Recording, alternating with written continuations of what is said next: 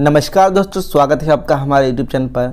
कई बार हमारे मार्कशीट में हमारे नेम के स्पेलिंग में मिस्टेक हो जाता है। हमारे पिताजी के या फिर हमारी मम्मी के नेम के स्पेलिंग में मिस्टेक हो जाता है।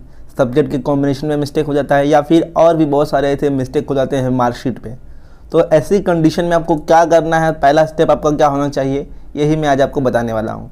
तो वीडियो शुरू करते हैं। लेकिन उससे पहले चैनल पर पहली बार आया तो चैनल सब्सक्राइब कर लो। एंड जो बाजू वाली बेल आइकन है, उस पर प्रेस करके ऑल पर क्लिक कर दो। तो देखो, आपको सबसे पहले क्या करना है? जब आपको बुलाया गया होगा कॉलेज में आपके कि आ जाना है, कल आना है रिज़ल्ट लेने तो आप जाओगे। रिज़ल्ट जैसे ही आपके हाथ में मिलेगा, सबसे पहले आप देखो कि आपका सब्जेक्ट सही तो है ना? यानी कि जो सब्जेक्ट हॉल टिकट पे लिखे थे, वही सब्जेक्ट मार्कशीट पे भी हैं।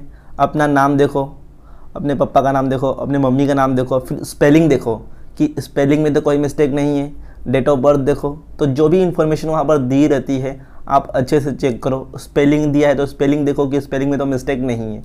और अगर कुछ गलत रहता है तो टीचर को कांटेक्ट कीजिएगा टीचर को बताइएगा।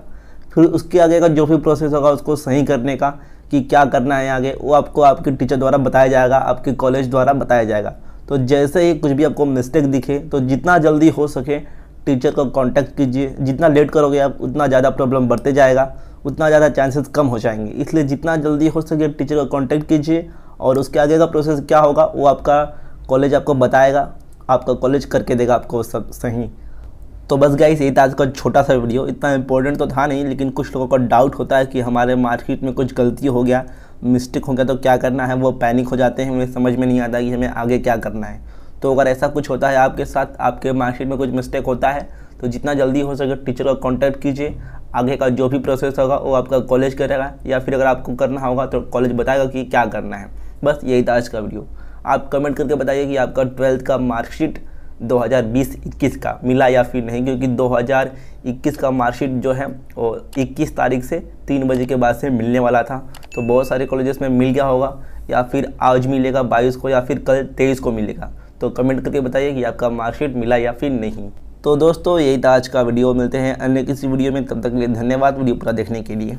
गाइस वीडियो में आगे बढ़ने से पहले एक बहुत ही बढ़िया एप्लीकेशन के बारे में आपको बताना चाहता हूँ, जो कि आपके लिए यूज़फुल साबित हो सकता है। यहाँ पर आप अपने क्वेश्चन जो भी आपका डाउट हो, या फिर किसी कंसेप्ट से रिलेटेड सवाल हो बोर्ड का हो जे डबल ई नीट किसका भी सवाल हो, पूछ सकते हो। इस एप्लीकेशन का नाम है फ्लियो यहाँ पर आप 24 फोर बाय सेवन कभी भी अपना सवाल पूछ सकते हो डाउट क्लियर कर सकते हो थ्री इजी स्टेप में। आपको प्ले स्टोर पर या फिर ऐप स्टोर पर जाना है। सर्च करना है फ्लियो सिंपली सर्च करो फ्लियो एंड इसे इंस्टॉल कर लो। इंस्टॉल करने के बाद आपको यहाँ पर फ़ोन नंबर से साइनअप करना है, देन उसके बाद कंटिन्यू करना है। उसके बाद आपका थर्ड स्टेप आता है, जो भी आपका सवाल है उसका फ़ोटो क्लिक करो, यहाँ पर अपलोड करो। आपका उसका आंसर 60 सेकंड में मिल जाएगा, आपको उसका आंसर।